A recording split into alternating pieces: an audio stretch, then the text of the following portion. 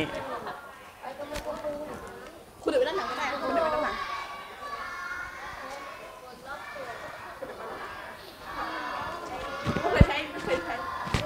ครั้งแรกนะเนี่ย จะเขินๆหน่อยหนึง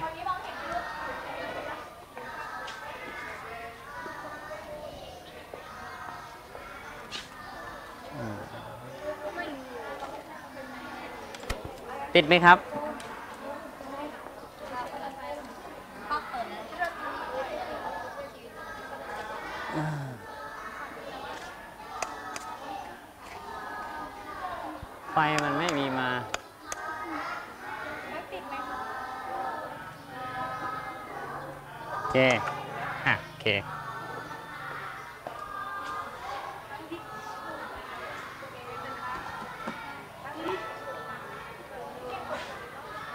ให้ทุกให้ทุกโต๊ะคุณครูสามารถเดินไปหาที่โต๊ะได้นะครับ ทุกคนมีที่วางทำงานนะครับ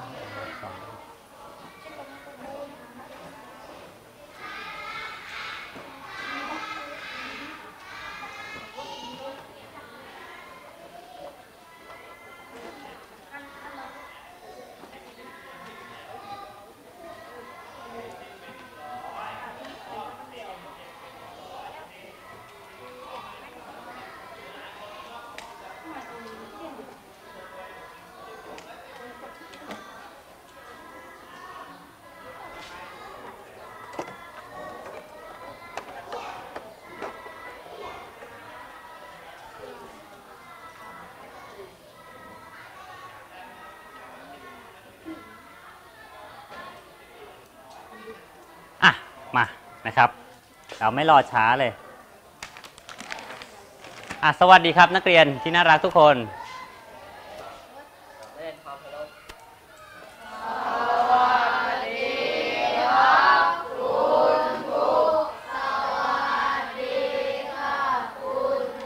สวัสดีครับอ่าเดี๋ยวสักครู่นะ ตอนนี้กำลังเชื่อมต่ออยู่นะครับ วันนี้นะครับ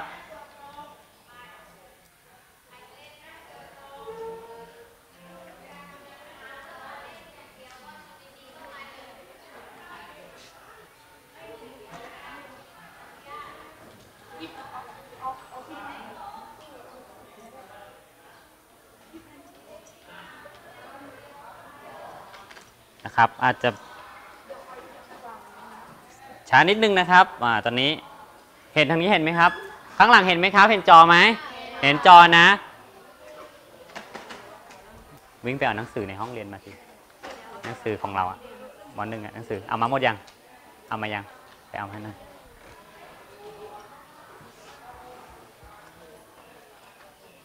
อ้าว เดี๋ยวสักครู่นะครับ เวลาเราจะใช้เราก็จะคัดข้องนี้แล้วนะครับ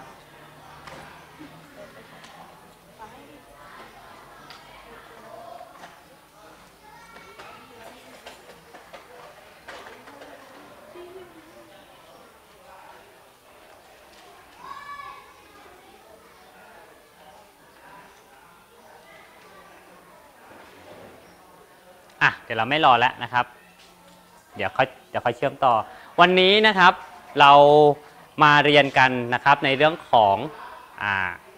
การวาดภาพทัศนียภาพใช่ไหมครับ จากครั้งที่แล้วเนี่ยคุณครูพูดให้ฟังคร่าวๆไปแล้วในเรื่องของการวาดภาพทัศนียภาพ ถามใครนะวันนั้นนะยกมือสิครับที่ตอบคุณครูได้คนหนึ่งใช่ไหมที่บอกถ้าถามว่าการวาดภาพทัศนียภาพเป็นเป็นแบบใดเขาบอกว่าเป็นแบบไหนครับเป็นแบบสองมิติ ใช่ไหมครับ เพราะว่าอะไรครับ เพราะว่าการวาดภาพทัศนียภาพนั้นอะ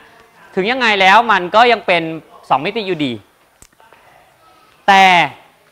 มันเป็นการวาดภาพให้ดูเหมือนกี่มิติครับ เหมือน 3 มิตินะครับ อย่างไรนะครับ เดี๋ยวแจกสื่อการสอนอันนี้ไปก่อนนะครับอะเดี๋ยวแจกให้หน่อยนะครับไอ้ตัวนี้เป็นให้นักเรียนดูเป็นตัวอย่างแล้วก็เป็นสื่อนะครับของเรานะครับ เปิดไปที่การวาดภาพทัศนียภาพนะครับ ต่อจากครั้งที่แล้วเลยนะครับ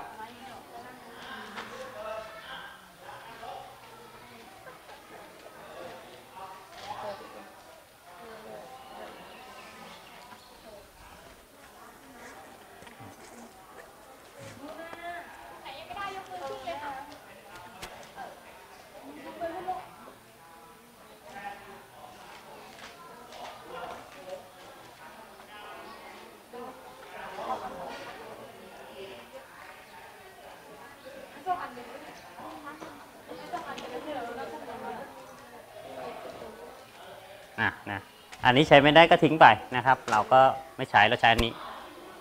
นะครับ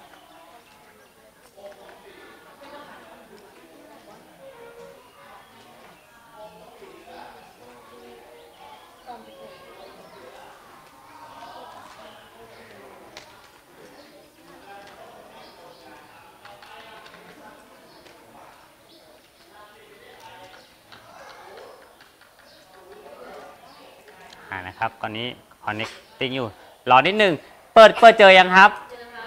หลังจากที่มอบหมายงานอ้าวมาแล้วนะครับ ใช้ครูไหมอะใช้ครูนะเดี๋ยวปิดก่อนอ่าอะนะครับ อันนี้นะครับยังไม่ต้องดูนี้เดี๋ยวพูดเรื่องอันนี้ก่อนนะครับที่มอบหมายงานให้ไปชั่วโมงที่แล้วก็คือให้ไปดูนะครับ ไปดูเนื้อหานะครับในเรื่องของอะไรครับ การวาดภาพทัศนียภาพใช่ไหมครับ แบบกี่จุดครับ 1 จุด 2 จุดนะครับ แล้วก็มี 3 จุดด้วยนะครับ เดี๋ยวจะให้ดูแบบนะครับ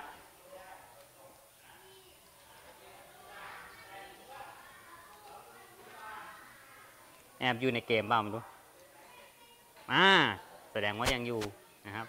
นี่นะครับตัวอย่างการวาดภาพทัศนีภาพแบบ 1 จุด 2 จุด 3 จุดแล้วแต่นะครับ อันแรกเป็นแบบ 2 จุดก่อนนะครับ นี่หันหน้ามาหาครูก่อนก็ได้เนาะอันนี้เป็นของศิลปินของอาของที่อาเขาเขาวาดไว้นะครับ เราเอามาเป็นแบบอย่าง ซึ่งอาเรามีสมาร์ทโฟนไหมครับที่บ้าน เรามีบางคนก็มีคอมพิวเตอร์มีทุกๆอย่างที่เชื่อมต่อในโลกโซเชียลได้นะครับ นี่ก็เป็นอีกอย่างหนึ่งนะครับที่ที่สามารถเป็นสื่อของเราได้นะครับอะครูให้ดูตัวตัวอย่างก่อน อันนี้เป็นน่าจะเป็นรูปอะไรครับ บ้าน ถามว่าภาพนี้เป็นแบบ 2 มิติหรือ 3 มิติ 2 มิติใช่ไหมครับ เพราะว่าอะไร เพราะมันเป็นระนาบเดียวใช่ไหมครับ แต่มันลอกเราอยู่ครับ มันลอกเราว่า เนี่ยนะเป็น 3 มิติ เพราะว่ามันเป็นการวาดรูปร่างหรือรูปทรงครับ รูปทรงใช่ไหมครับ นี่รูปทรงมีด้านกว้างด้านกว้างคูณยาวใช่ไหมครับ รูปร่างเป็น 2 มิติอ่ารูปทรงเป็น 3 มิติใช่ไหมครับอ่ามาดูอันต่อไปนี่อ่านี่ก็เป็นลักษณะหลอกตาเราอีกให้เป็น 3 มิติเหมือนเช่นกันนะครับ เป็นภาพทัศนียภาพแบบ 1 จุดนะครับ อยากทำได้ไหมครับ ยากนะครับ เดี๋ยวเราจะมาดูว่าเราจะทำยังไงดีนะครับภาพวิวต่างๆนะครับ ปิดไปนะครับ นี่เป็นตัวอย่างนะครับให้เราดู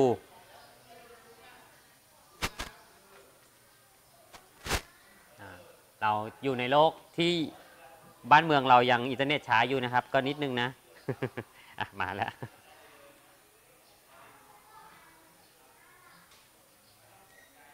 เดี๋ยวสักครู่นะ เออนะครับมีตัวอย่างให้ดูว่าวิธีการวาดนะครับ ทัศนียภาพแบบ 1.2 จุดเป็นอย่างไรนะครับ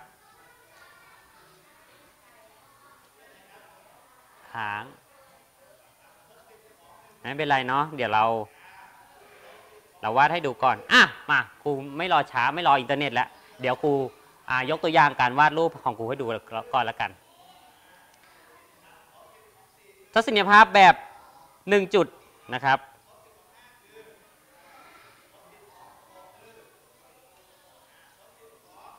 เห็นข้างหลังยังเห็นอยู่ไหมยังเห็นนะอะนะครับ คุณครูจะวาดก่อน ขั้นตอนแรกนะครับในการวาดทัศนียภาพแบบ1จุดเนี่ยนะครับเราจะต้องมีเส้นนี้ก่อนครับ เส้นรวมสายตา เส้นหนึ่งหนึ่งเส้นนี้เรียกว่าเส้นอ่ารวมสายตานะครับอะทษทีเส้นระดับสายตานะครับ วันนี้เบอร์นิดหน่อยนะครับ ต่อไปอีกเส้นหนึ่งที่เราจะอ่าอีกจุดหนึ่งที่เราจะต้องกำหนดเห็นไหมเห็นไหมเห็นไหมครับ ถ้าไม่เห็นต้องต้องทวงนะนะครับ จะได้เห็นทุกคนก็คือจุดนี้ครับจุดสำคัญ นี่จุดเรียกว่าอ่าเห็นจุดไหมอ่านี่เรียกว่าจุดรวมสายตานะครับเอาสองอันก่อนนะครับ วิธีการวาดทัศนียภาพแบบหนึ่งจุดเนี่ยขั้นตอนแรกเราจะต้องกำอ่ากำหนด 2 อย่างนี้ขึ้นมาก่อนก็คือ เส้นระดับสายตานะครับเส้นนี้นะครับ แล้วรวมไปถึงจุดนี้ครับจุดรวมสายตาทำยังไงครับ เราวาดรูปร่างเป็นไหมครับอ่ารูปร่างง่ายๆก่อนรูปร่างสี่เหลี่ยมแล้วกันอ่าเราวาดรูปร่างสี่เหลี่ยมไปหนึ่งหนึ่งหนึ่งอันอ่าไว้ตรงนี้แล้วกันเห็นไหมครับ เห็นไหมเห็นไหมอ่าเห็นนะ เห็นไหมครูไม่ใช่ครูไม่ได้ใช้ไม้บรรทัดนะมันก็จะแบบยึกๆหน่อย หลังจากนั้นครับเราจะต้องลากเส้นไปหาจุดรวมสายตาจริงๆเนี่ยอยากให้ทำหลายอย่างมากวันนี้จะไปเร็วนิดนึงนะ ก็คือมีอยู่สามจุดครับจุดนี้อ่าจุดล่างสุดเลยนะครับ เห็นไหมครับอ่าเดี๋ยวเราจะให้ทำนะครับ อันที่สองเห็นไหมครับ เดี๋ยวของจริงเดี๋ยวเธอต้องทำใช้ไม้บรรทัดนะ มันจะได้ตรงกว่านี้นะอันนี้มันนี่ตัวอย่างให้ดูนะครับ อันนี้อันที่สามครับด้านบนนะครับ ลากไปหา เห็นยัง มันจะกระยึกกระยืนหน่อยนะ ไม่เป็นไรเนาะอะหลังจากนั้นเราจะาทำให้มันเป็นกล้องที่ดูสมจริงเป็น 3 มิติขึ้นนะครับ โดยการวาดาจุดนี้ครับด้านบน เห็นไหมจุดนี้นะ แล้วก็วาดขีดลงครับ ขีดลงมา เป็นอยังเป็นแล้วนะครับ อันนี้เราก็จะได้กล่องหนึ่งกล่อง นะครับนะครับ ซึ่งมีลักษณะเป็นเหมือน 3 มิติขึ้นมาใช่ไหมใช่ไหมครับ เพราะว่ามันมีความลึกเข้าไปนะครับ ไปหาจุดนี้นะครับ ถ้านี่เป็นระดับอันนี้ระดับสายตาของเรานะ อันนี้มองแล้วมันลึกเข้าไปหาจุดนี้ แล้วถ้ามันมาจากด้านบนล่ะได้ไหมเออเราลองดูดูครับด้านบนได้ไหมอะผมจะวาดสี่เหลี่ยมด้านบนเหมือนกันนะครับ เห็นไหมครับ ด้านหลังเห็นไหมตรงนี้เห็นไหมครับ เห็นนะ หลังจากนั้น 3 จุดเหมือนกันครับ ลากมาเลยปั๊บมานี่เห็นไหมครับ หลังจากนั้นอันที่ 2 ครับมานี่ครับปั๊บมาเห็นไหมครับ เห็นจะไปเร็วนิดนึงนะครับ ลากมาอีกครับ นี่ มองออกไหมมันจะเป็นกล้องได้ไหมครับ ได้มันต้องเป็นกล้องได้ครับ เพราะครูเรียนมาอ่าแล้วก็ลากนี่ลงมาครับอ่าเห็นเป็นกล้องยาง อ่า เป็นกล้องแล้ว เออ ดูประหลาดตาไหมเออ ดูประหลาดตาเนาะ จุดสำคัญที่เราจะทำให้มันออกมาดีไม่ดีเนี่ยก็คือจุดนี้ครับ กล้องตรงนี้นะครับ เส้นตรงนี้ 2 เส้นเนี่ยจะต้องตั้งฉากกับเส้นระดับสายตานี้นะครับระดับสายตานี้ต้องตั้งฉากกันนะครับนี่ตั้งฉาก ส่วนด้านบนนี้นะครับจะต้องขนานกับเส้นระดับสายตาจะทำให้กล้องของเราเนี่ยตรงนะครับ และถ้ามันอยู่ในระดับสายตาล่ะใช่ไหมอันนี้มันอยู่ในต่ำกว่าแล้วก็สูงกว่าระดับสายตาของเราใช่ไหมครับคราวนี้มาดูวัตถุที่อยู่ในระดับสายตาเราจะมีลักษณะอย่างไร เห็นไหมครับก็ไม่เห็นต้องทวงนะ วาดกล่องเหมือนเดิม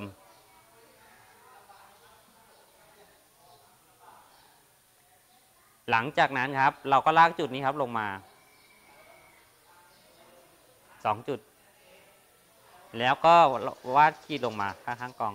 เป็นยังครับ อ่านะครับ อันนี้นะครับก็เป็นกล่องที่ตั้งอยู่ในระดับสายตาของเรา ระดับสายตา เส้นตรงนี้นะครับเป็นเส้นเขาเรียกว่าเส้นระดับสายตา ซึ่งแบ่งดิน แบ่งฟ้าแยกออกจากกัน หรือแบ่งภูเขาแบ่งกับฟ้าแยกออกจากกันเนี่ยเป็นเส้นระดับสายตาของเราที่เรามองไปสู่ขอบฟ้านะครับคล้ายๆกับพี่ตูนบอดี้สแลมไปสู่ขอบฟ้านะครับ เข้าใจหรือยัง อ่าเดี๋ยวเราจะมาลองทดสอบนะครับสเต็ป by สเต็ปกันเลยแล้วกันอะพร้อมแล้วหันไปที่โต๊ะของเรานะครับหันไปที่โต๊ะของเรานะ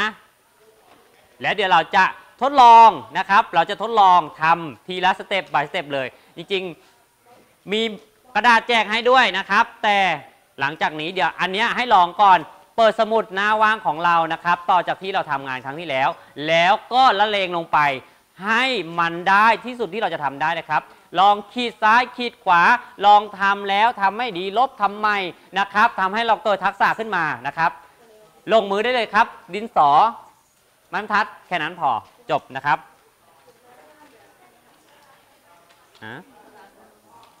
อ๋อ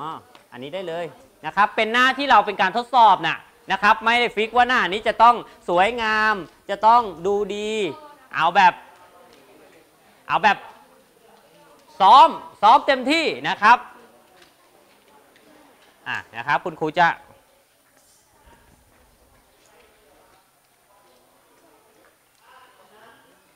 เดี๋ยวคุณครูจะพาให้ทุกคนเนี่ยไปเห็นของเพื่อนด้วยนะครับนะนะครับ เพื่อนด้านนู้นเห็นเพื่อนไหมครับ เออเดี๋ยวเราจะมาดูเพื่อนนะครับ ว่าเพื่อนแต่ละกลุ่มเนี่ย เขาวาดกันยังไงนะครับ นี่เขาเตรียมงานกันอย่างนี้นะครับ แต่ละคนก็หน้าตามุ่งมั่นนะครับ ที่จะพัฒนาตัวเองนะครับสองจุดนะครับที่ที่เรามันต้องเกิดขึ้นก่อนคืออะไรครับ เส้นอะไร เส้นระดับสายตากับจุดจุดรวมสายตานะครับไอจุดรวมสายตาเนี่ยบางทีเนี่ยเราจะไม่ตรงกลางก็ได้นะ ลองลองเขาเรียกอะไรลองลองประยุกต์ดี นะครับว่าถ้ามันไม่อยู่ตรงกลางแล้วมันอยู่ซ้ายมันอยู่ขวาเนี่ยรูปร่างกล่องที่เราจะมันเกิดขึ้นมาเนี่ยมันจะเป็นยังไงนะครับมาดูเพื่อนๆกัน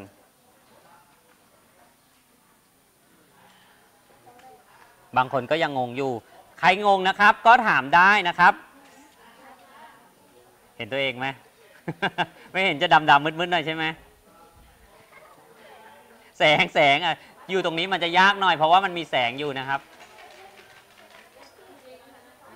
อ่าตอนนี้อะให้ดูบรรยากาศของเพื่อนๆก่อนนะครับ เราก็เตรียมตัวไปเรื่อยนะ เดี๋ยวเราจะดูนะครับ เมื่อตอนที่เพื่อนวาดรูปแล้วเนี่ยเราจะเห็นชัดขึ้นนะครับว่าทำยังไงอ่านี่ตีเส้นแล้วนะครับ แล้วก็จุดลงไปก่อนนะครับ จุดรวม จุดรวมสายตาหนึ่งจุดตรงไหนก็ได้ หลังจากนั้นวาดกองสี่เหลี่ยมนะครับที่เป็นรูปร่างนะครับ ที่เป็นรูปร่างนะครับ หลังจากนั้นก็เป็นไงครับ ค่อยๆลากเส้นขึ้นมาหาจุดรวมสายตานะครับ นี่นะครับทำว่องไวมาก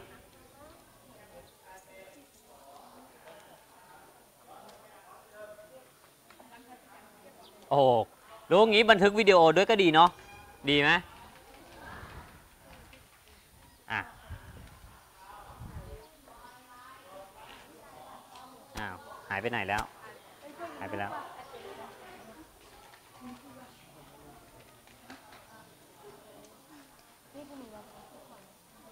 นักเรียนทำในสมุดจะโชคดีอย่างหนึ่งคืออะไรรู้ไหมครับ ก็คือสมุดเราเนี่ยมันมีเส้นนอนให้แล้วใช่ไหมครับ เส้นนอนเนี่ยมันจะขนานกับเส้นระดับสายตาอยู่แล้ว เพราะฉะนั้นเวลาเราขีดเส้นนะครับ มันจะ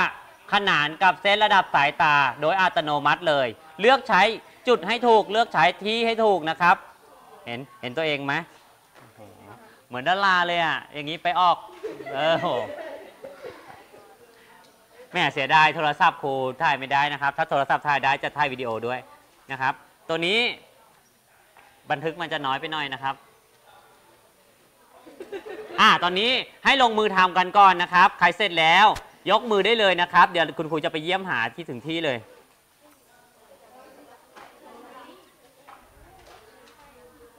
อ่า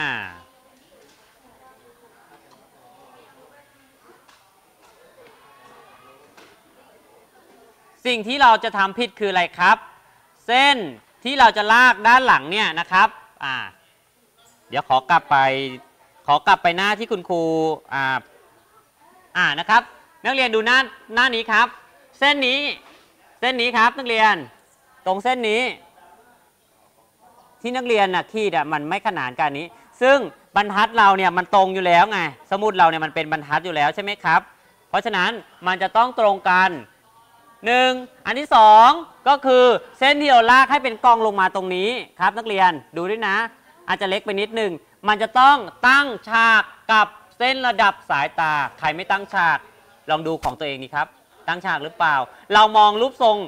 ของกล้องเราเนี่ยมันประหลาดไหมเฮ้ยทำไมมันเบี้ยวซ้ายเบี้ยวขวา ใช่ไหมครับ เออ มันเบี้ยวแสดงว่าเราลากเส้นไม่ตรง ลากเส้นไม่ตั้งฉากกับเส้นระดับสายตา ใช่ไหมครับ ใช่ไหมมันเบี้ยวลงไปนิดนึง เราใช้ดินสอเราก็ลบแล้วเราก็ทำใหม่เส้นนี้ครับนี่เดี๋ยวถ่ายเพื่อนดูด้วย นี่ครับเส้นนี้ ต้องตั้งฉากครับต้องขึ้นมานี่อดินสอหน่อย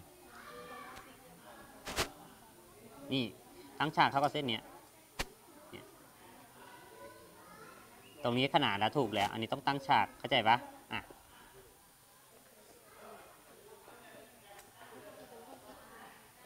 เออ ต้องตั้งฉากครับนี่อันนี้นะครับ แบบอย่างของเพื่อนนะครับ เห็นใครที่เห็นแล้วก็ลองลองดูนะครับ เห็นสังเกตได้ว่ากล้องของเพื่อนเนี่ยโอ้ยอย่าขยับดิมึนตาไม่ได้ดูคือให้ใครนะครับ กล้องของเพื่อนจะสมส่วนนะครับอ่าแล้วลองไปดูลองไปดูกลุ่มอื่นดูบ้างนะครับว่า เป็นแบบใดอ่ากลุ่มนี้ก็กำลังจะเริ่มทำนะครับ เออ เกรดเก่งมากเลยครับทำสามอันสี่อันเลย เป็น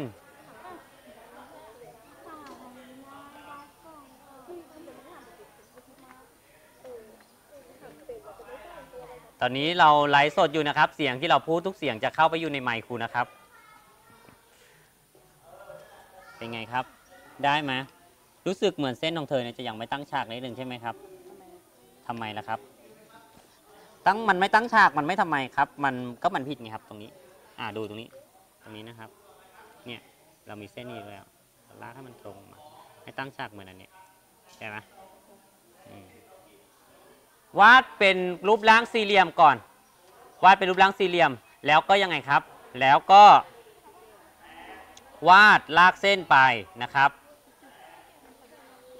อ่าเดี๋ยวดูกลุ่มนี้บ้างนะครับ อ่าเดี๋ยวมาดูตัวอย่างของเพื่อนอีกกลุ่มหนึ่งนะครับ เห็นไหม เห็นของเพื่อนไหมครับ เป็นไงครับ เรา มันมีจุดรวมสายตาใช่ไหมครับ อ้าว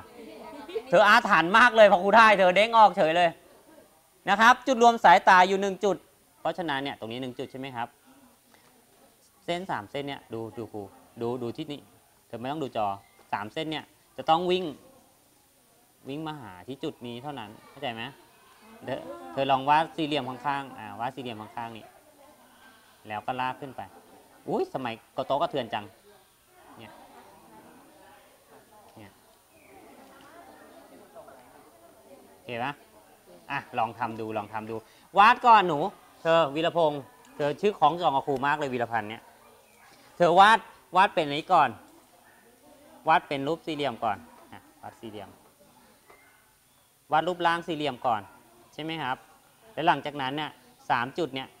หนึ่งสองสามเนี่ยเธอต้องลากเส้นมาที่จุดรวมสายตานะแล้วมันจะทำให้เป็นกล้องที่ดูสวยงามได้นยกตัวอย่างนะ แล้วเดี๋ยวเราลองทำเอง นี่นะอะคันนี้ลองวาดตรงนี้สิครับอโอเคไหมวาดไม่เลยวาดไม่เลย ใช้ไม้บรรทัดดิมันจะได้ตรง บางทีมือเราเนี่ยมันยังไม่เที่ยงนะครับ อะนี่เพื่อนใช้กล้องประมาณร้อยกล้องนะครับเนี่ยมีความคิดสร้างสรรค์นะครับ ตรงนี้มันเป็นยังไงครับลองดูมันเป็นยังไง มันไม่ตรงเนี่ยคำว่าตั้งฉากคือตรงนี้ตั้งฉากกันเนี่ยอันนี้มันเฉไปนี่เห็นไหมเนี่ยมันเฉเนี่ยทุกอย่างนี้ก็เฉเนี่ยมันมีเส้นเส้นเส้นเนี่ยขนานกับเส้นระดับสายตาอยู่แล้ว ตรงเนี้ยเรา มันแล้วมันมันมันเฉลงมาอย่างเงี้ยมันเฉียงลงมาอย่างเงี้ยใช่ไหมลองดูเนี่ยแต่ละเส้นเนี่ย เส้นนี้ต้องตั้งฉากกับนี้ ส่วนเส้นนี้ต้องขนานกับเส้นนี้โอเคปะครับโอเค ลองแก้ไขดู บอกเพื่อนในกลุ่มด้วย เรานั่งกันเป็นกลุ่มเราไม่ใช่แบบว่า เฮ้ย เรานั่งกันไปเฉยๆนะ เรานั่งแล้วเราก็ต้องช่วยกันได้ด้วยอ้าวคราวนี้ดูในกลุ่มดูด้วยนะครับ เวลาเวลาที่คุณครูทายนะลองดูด้วยนะของเพื่อนเป็นยังไงอะนี่ เส้นนี้ต้องเป็นยังไงครับ ขนาน และเส้นนี้อ่าเส้นขออภัย เส้นนี้ต้องตั้งตรง ตั้งฉากกับตรงนี้เห็นไหมตั้งฉาก ตั้งฉากกับเส้นนี้ ส่วนเส้นข้างบนนี้ต้องขนานเนี่ยขนานหนึ่งเส้นเนี่ยขนานกัน มันมีเส้นสีน้ำเงินอยู่แล้วเนี่ยเราก็วาดแค่วาดให้มันขนานกันแค่นี้มันก็ได้แล้วเนี่ยเหมือนกัน เราไม่ตั้งตรงอะอันนี้วาดเฉยใช่ไหมครับนั่นน่ะยิ่งไปใหญ่เลยเห็นไหมเนี่ยเส้นเนี้ยเนี่ยเห็นไหมยังไม่ได้เขียวยังเอาโอ้ยโอ้ยทำไมชื่อ ขออภัยเอาออกนิดนึงเอาออกนิดนึงเอาออกสิเออเดี๋ยวมาดูของเพื่อน ใครที่ยังงงๆอยู่ก็ดู ดูจอไปด้วยก็ได้นะครับ จะได้เห็นของเพื่อนในในหลาย ๆ เคสนะครับนี่ขนานกัน อืมแต่ตรงนี้ยังไม่ขนานเส้นนี้ไอ้ต้องตั้งฉาก นี่ดูส่วนเส้นนี้ขนานกัน กับเส้นนี้ ส่วนนี้ตั้งฉากตั้งฉากกัน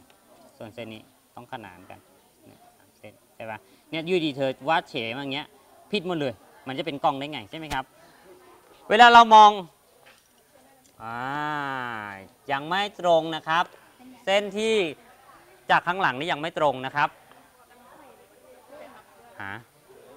อ่ามาดูของ ของเพื่อนอีกคนหนึ่งนะครับ อ่า อันนี้ถูกแล้ว อันนี้ถูก อันนี้ ยังดูไม่ค่อยสมส่วน เพราะว่าอะไรครับ เพราะว่าเส้นนี้กับเส้นนี้มันไม่ขนานกัน ไม่ตั้งฉาก เนี่ยเราลองลากเส้นผ่านมาป๊าเฉยไหมอ่า มันต้องตั้งฉากตรงลงมา เนี่ยเห็นไหมโอเค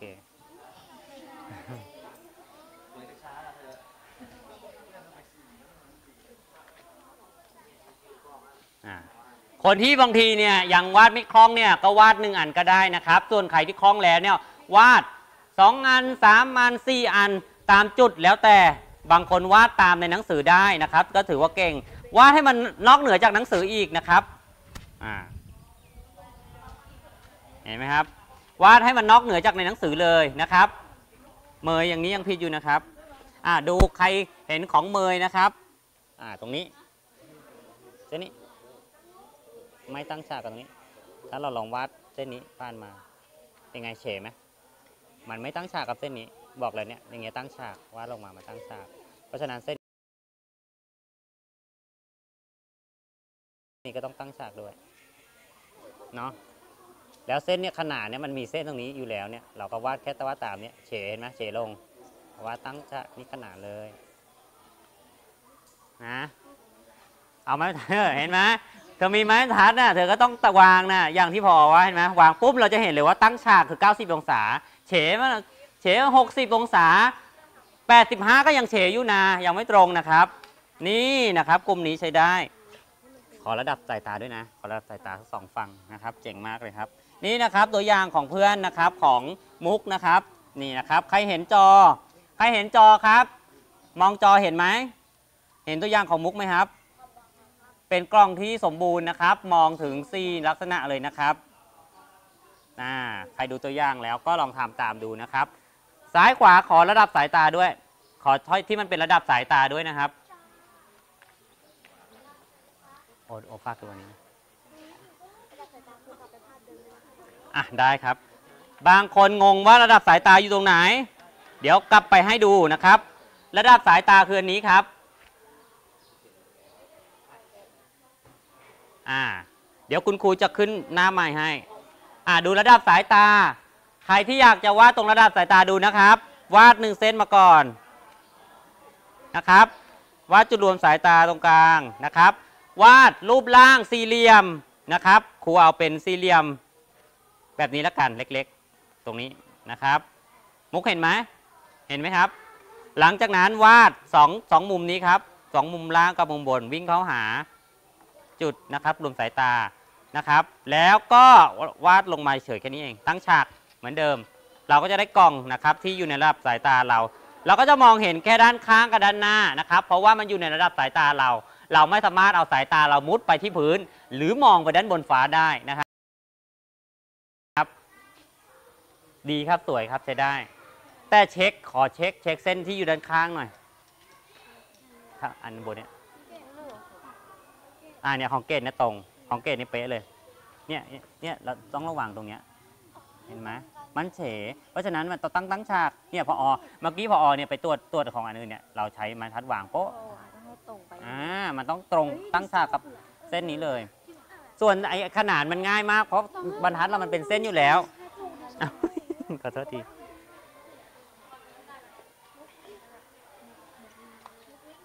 นะครับ จริง ๆครูวางแผนไว้ เยอะกว่านี้นะครับ ไม่เป็นไรละครับ แผนเราปรับเปลี่ยนได้นะครับ วันนี้ถ้าเรายังไม่คล่องในเรื่องของทัศนียภาพแบบหนึ่งจุด เราก็เอาให้คล่องเลยทีเดียวนะครับ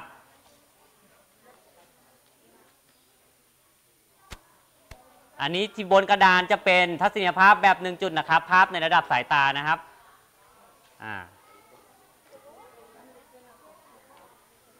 ดูแล้วนะครับ ใครที่อยู่ในกลุ่มนั้นนะครับ เห็นเพื่อนที่ยังไม่ได้ เราช่วยกันได้นะครับ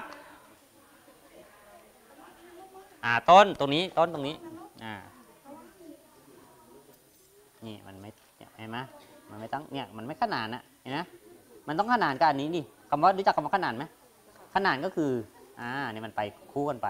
แต่อันนี้มันเฉเนี่ยเห็นไหมมันเฉมาทางนี้ มันต้องขนานกันอย่างนี้สิใช่ปะเนี่ยเธอวาดวาดกองเฉจัง วาดกองอ่าวาดที่มันเป็นเนี่ยท่านี้สิเนี่ยเนี่ยเนี่ยมันมีอยู่แล้วเนี่ยเนี่ยเป็นกล้องแหละอ่าอ่านะครับ เมื่อนะครับนักเรียนดูภาพแล้วนะครับ เดี๋ยวจะให้นักเรียนเนี่ยเดินดูเพื่อนๆบ้างนะครับ แต่เดี๋ยวครูพาไปครับผมอ่า ตัวอย่างของมุกอีกทีเหมือนกันนะครับอ่ามุกลองเปิดขึ้นมาโชว์โชว์เพื่อนหน่อยเห็นไหมครับ เห็นของมุกไหมครับอ่านะครับ อันนี้เป็นตัวอย่างที่ที่ดีนะครับอ่านะครับ กลุ่มนี้นะครับ ก็ถือว่าทำได้ค่อนข้างดีนะครับ มุกลองช่วยเพื่อนดูหน่อยนะครับว่าเส้นเนี้ยนี่นี่นี่ยังไม่ตรงเนี่ยวางนี้วางลงมา ห็นไหมไม่ตั้งฉากกับเส้นนี้เลย ถ้าตั้งฉากมันต้องอย่างนี้ ใช่ไหม90 องศาเนี่ยแต่ละกองต้องวัดให้เท่ากันเลยนะไอ้ตรงเนี้ยมันอยู่ตรงไหนก็ได้ มันอยู่ตรงนี้ก็ได้ สลับไปมา มันไม่ได้ตรงต้องตรงกันก็ได้ แต่อันนี้เราวาดให้มันดูตรงกันเนี่ยมันก็จะดูสวยไง อะกลุ่มนี้นะครับ กลุ่มนี้มีการวาดน้ำหนักของกล่องด้วยนะครับ แสงเงาลงมาด้วยนะครับ ก็ถือว่านะครับมี มีการคิดนอกกรอบออกไปอีกนะครับ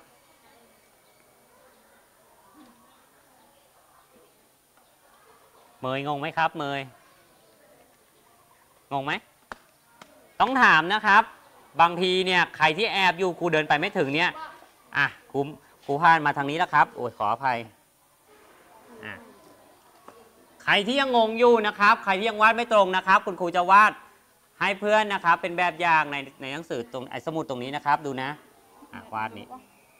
สี่เหลี่ยมมาวาดเป็นรูปร่างก่อนนะรูปร่างก่อนครูจะวาดไม่ตรงนะ เดี๋ยวเราทำให้ตรง หลังจากนั้นนะไอ้มุมตรงเนี้ยสามมุมเนี่ยจะต้องลากให้มันตรงมาอุ๊ยถือได้ไหมอุ้ยทำไมโต๊ะสั่นใช่ไหมครับ หลังจากนั้นเนี่ยเส้นที่เราจะตัดเนี่ยให้มันขนานกันกับนี่นี่เห็นไหมขนานยัง เนี่ยนี่เราไม่ขนานเห็นไหมเนี่ยเส้นนี้เราไม่ขนาน ใช่ไหมครับเส้นนี้ไม่ขนานนะเส้นนี้ตั้งฉากไหมตั้งฉากเนี่ยตั้งฉากหรือต้องลงไอ้มาตัวจะลกมากเนี่ยเราขอไม้บรรทัดหนะอะเนี่ยไม้ทัดเวลาเราวางไม้ทัดปุ๊บเนี่ยมันต้องตั้งฉากกันกับเส้นนี้เนี่ย90องศาจากตรงนี้ใช่ปะโอเค ลองทำดูนะครับ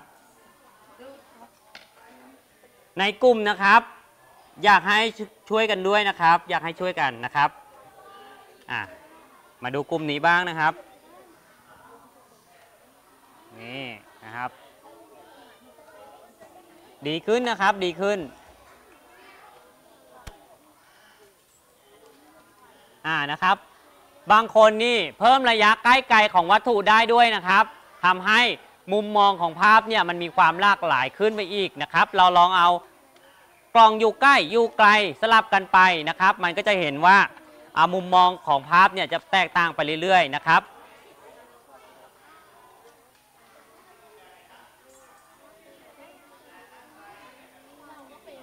เห็นไหมครับ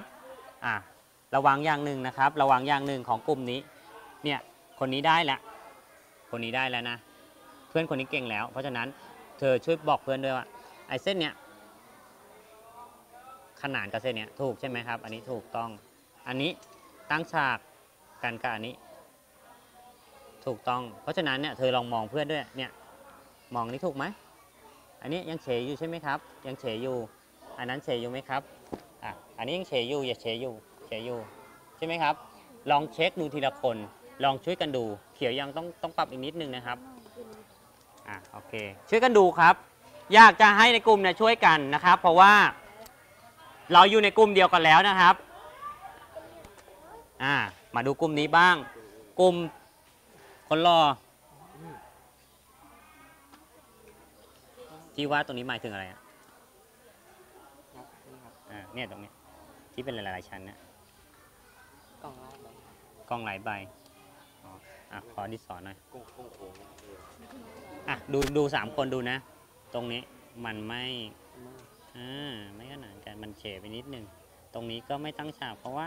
ตรงนี้มันมีเส้นอยู่แล้วเนี่ยเธอแทนที่เราจะต้องจากตั้งฉากเราต้องตั้งฉากตั้งฉากกับเส้นนี้เนี่ยทุกเส้นเลยเนี่ยเห็นไหมมันเฉ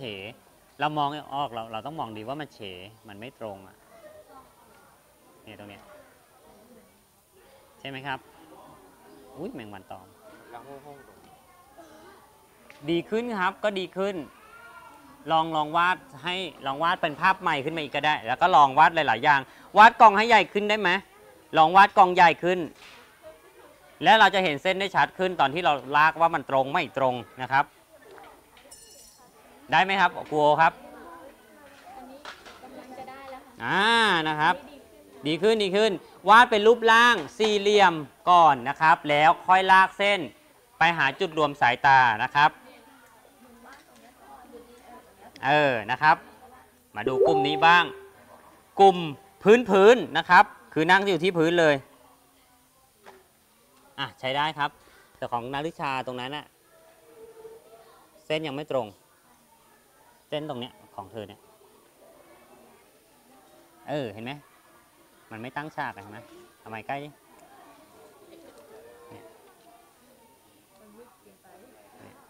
เห็นไหม ของเธอเฉอันเนี้ยเห็นไหมมันมีเส้นสีน้ำเงินอยู่แล้วเนี่ยก็วาดให้มันทับเส้นสีน้ำเงินไปแค่นี้มันก็จะขนานกันแล้วของเธอเฉขึ้นไปมันก็เฉไปนี่สิใช่ไหมอะลองทำดูโหเสียดายอะอยากถ่ายวิดีโอคือเครื่องเครื่องนี้มันเมมมันไม่เมมมันน้อยอ่ากลุ่มนี้ดีขึ้นครับ แอนดีขึ้นครับ ดีขึ้นดีขึ้นมากดีขึ้นมาก เธออยากจะวาดกล้องยาวๆ เธอก็เธอก็เอาเส้นนี้ยาวๆเนี่ยลงมาเนี่ยแค่นี้ก็เป็นกล้องที่ยาวๆแล้วนะครับแต่อันนี้กล้องเธอทำไมสั้นจัง ไม่กล้องสั้นจังอันเนี้ย อันนี้ไม่ค่อยตรงเลย ไม่ใช่อะดูดูดูตรงนี้ นี่เธอจะเส้นมาอยู่ตรงนี้ใช่ไหมครับ นี่ตัดมานี่ เพราะฉะนั้นไอ้นี่ต้องมานี่ค่ะ ขอข้างน้าทางไหนอย่างเงี้ยแบบเนี้ยอ๋อ เส้นข้างเส้นด้านในไง อะนะครับ หมดเวลาซะแล้วนะครับ อะทุกคนหันมาทางนี้ครับ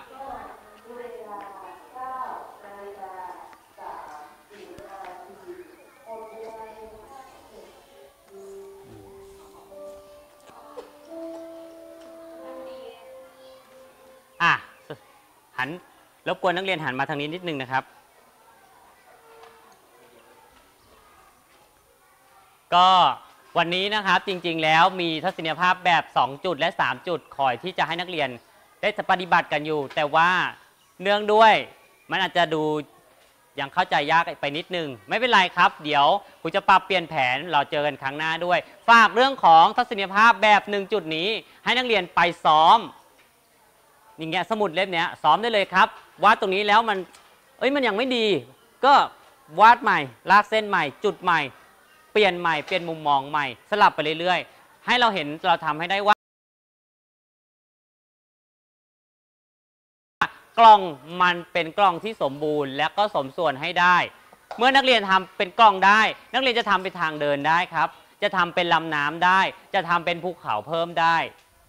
เข้าใจไหมครับ เราจะเราจะเราจะพัฒนาไปเป็นภาพวิวจริง ๆ ซึ่งเราใช้อิงหลักพวกนี้เข้าไปได้นะครับ อะหวังว่านะครับครั้งหน้านะครับ ก่อนเข้าชั่วโมงนะครับ คุณครูจะเห็นว่านักเรียนเนี่ยทำอันนี้เสร็จนะครับ แล้วเราเดี๋ยวเราจะมาคุยกันอีกว่า เราจะทำยังไงต่อไปถ้าคนที่ยังทำไม่ได้นะครับ มีปัญหานะครับ inbox ไปหาคุณครูได้นะครับ ฝึกเขียนที่บ้านนะครับ แล้วก็ถ่ายรูปมาให้คุณครูได้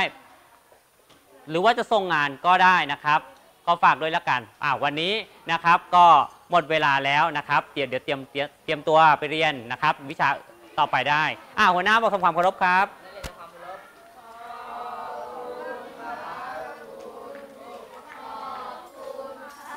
อ่าโชคดีนะครับ เดี๋ยวเจอกันครั้งหน้า ส่วนอ่าใบงานที่เตรียมให้นะครับ เดี๋ยวจะยังไม่แจกวันนี้ เดี๋ยวเราจะไปแจกตอนที่มัน1จุด2จุดและ 3 จุดได้ครบแล้วกันนะครับ โอเคเนี่ยเสียดายจริง ๆ